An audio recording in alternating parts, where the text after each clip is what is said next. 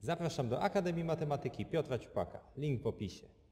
W trójkącie ABC punkt D leży na boku BC, a punkt E leży na boku AC. Odcinek D jest równoległy e, do boku AB, ponadto AE równa się DE równa się 4 i AB równa się 6, tak jak na rysunku.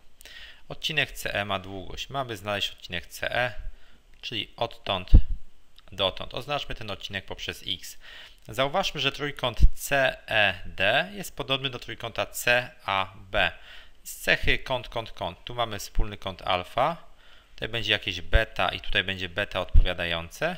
Tutaj będzie jakaś tam gamma i tutaj będzie gamma odpowiadająca, czyli cecha kąt, kąt, kąt podobieństwa trójkątów. Zatem zobaczmy, odcinek x do 4, x do 4 to do tego będzie jak x plus ten odcinek 4, czyli jako x plus 4, czyli cały ten odcinek do 6.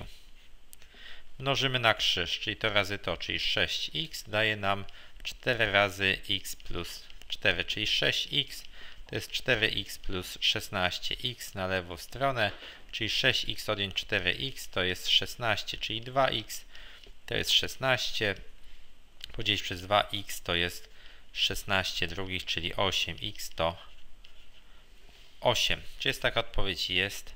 Jest to odpowiedź C.